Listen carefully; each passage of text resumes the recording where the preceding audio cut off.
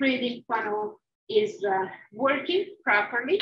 So I'm going to test that, make sure that is the, the stopcock is in the horizontal position, which is closed position. The grease, the glass stopper must be greased properly. And I'm going to mix this with 20 milliliters of water, which are already measured and it is cold water. I'm going to put some of the water in first to make sure there is no, uh, no leak and this is actually uh, working. Transfer the um, product into the into the separator funnel. Our product cyclohexene, of course, is organic compound and it's non-polar. It doesn't dissolve in water, so it just form the second layer. And uh, transfer the rest of the water, total of 20 milliliter water. Place the glass stopper and store it and release the pressure. If there is any pressure. So we are basically um, washing the product from any water soluble, any water soluble impurities.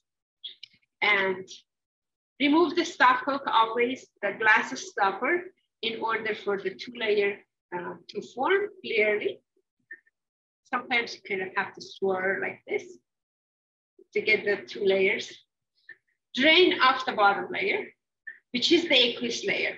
We use only the aqueous layer to wash the product and remove any water soluble impurity. So I'm going to, you know, making sure that no organic layer goes into the, into the Erlenmeyer flask. I will stop right there. Sometimes you're not sure if this is the aqueous layer or the top one is the aqueous layer uh, because organic compounds could have high density as well. Um, if I add few milliliters of water to what I have in the flask and only one phase forms, that means what I had in the flask was aqueous layer. This is just a test. I added some water because water is miscible with the aqueous layer, it formed only one layer. And if it was organic layer, it would show me that a second layer has, has formed. Next step of the reaction following the procedure is adding sodium bicarbonate. The purpose of adding sodium bicarbonate is to remove any traces of acid from our product. So I have 10% sodium bicarbonate, measured 10 milliliters, and transfer the sodium bicarbonate.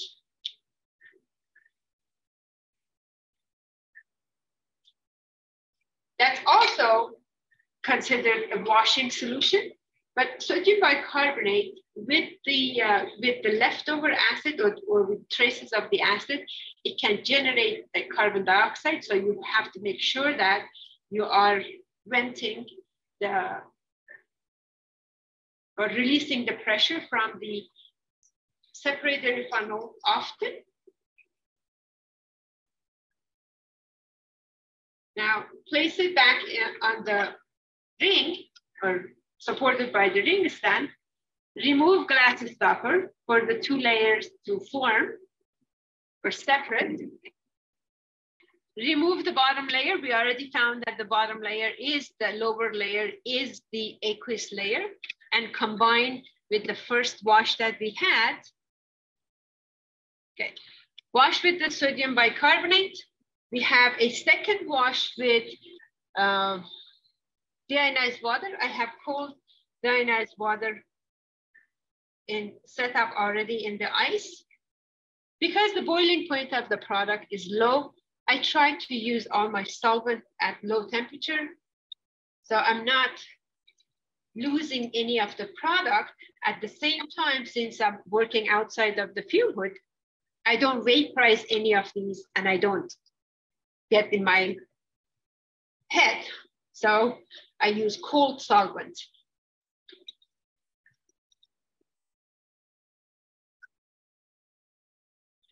This time, washing with water is basically removing, again, sodium bicarbonate or any soluble ions that we have in there is the last wash.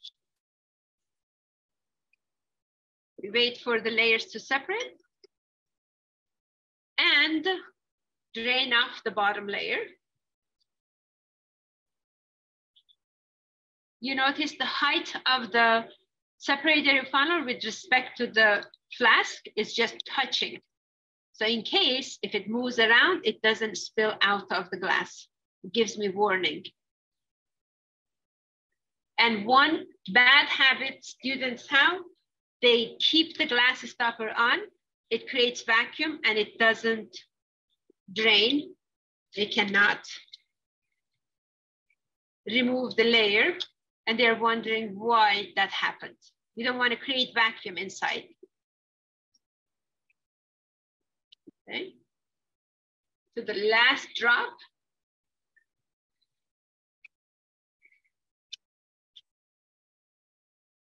Now, on the next step, going to um, transfer to a um, 50 ml Erlenmeyer flask. And this transfer, I can just pour from the, from the top. For the top layer, we pour it from the top and I have to explain why, because when you drain off the aqueous layer, this area of the separator funnel is wet and it has some drops of water. We don't want the drops of water from this area after the stop coat to be combined with the organic layer. That's why we are pouring from the top. This sample is our organic layer. It might seem uh, cloudy. The reason it's cloudy is because it has some moisture in there. To remove the moisture, like just like other experiments that we had for extractions and all that, we are going to add anhydrous agent. The anhydrous agent I'm using here is calcium chloride, and I will bring the calcium chloride to add to the flask. Um, anhydrous calcium chloride we are using for drying the, the sample and they always ask me how much should I add? And I just say add enough. How much is enough? Enough is when you add the um, drying agent or anhydrous agent, it doesn't clump up.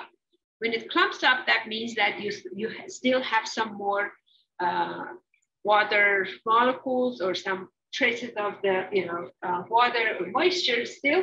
So you add just few more um, pellets of or mesh of the calcium chloride and anhydrous calcium chloride. The calcium chloride now is moving around. That means I have added enough. Going to cover this as soon as possible because I don't want moisture to get in. Using a parafilm, I will cover the, um, the flask for the anhydrous agent to do the job, meaning it's going to remove the moisture from the organic, uh, organic layer.